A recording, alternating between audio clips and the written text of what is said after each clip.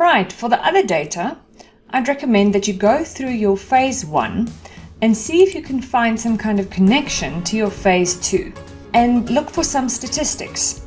So at the moment, the only one I could find so far is an average of 15 to 30% increase in electrical bills because employees are at home all day. Now, unfortunately, I don't have people's salaries.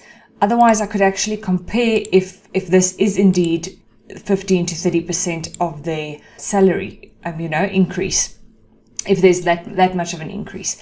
But at the moment I don't have that. So I need to actually go and look for something else.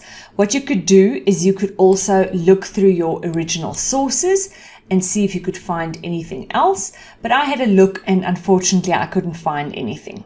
So what you do in that case is you go and look online for something that links to your phase two questions preferably and has some kind of um, connection obviously to your research and has statistics. It doesn't have to be a massive table or something. If you find something like that, it'll be fantastic. But something short like this is also completely fine.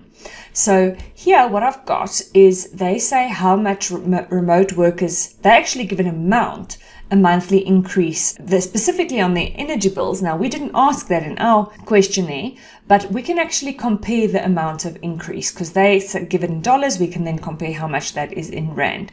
So what I'm going to do is I'm going to copy this URL and I'm going to put it in my, in my spreadsheet. I'm going to say from and paste it in there. Now, this is an extremely long URL because it's actually referring to the bookmark. You see hashtag that refers to a target area on a page. So the target area is this specific place, the cost of remote work. So what you could do is you could either use this entire link and put a hyperlink in to, to the shorter URL, or if you want, you can just shorten this and take that out. Okay, now I'm going to put the statistics. Now they said over here 40 to 50 monthly increase and that's in dollar so I'm just going to make it 45 and now I'll go work out the average in of my respondents and see how much their average increase was. And then lastly what I'll do is I will convert this amount in dollar into rand. So let me insert a row and I'll actually convert this into Rand. Right, and now we can just subtract these two amounts and draw a conclusion from there. Alright, remember to put it in perspective. Um, you'll probably put your uh, conclusion in some kind of merged cell.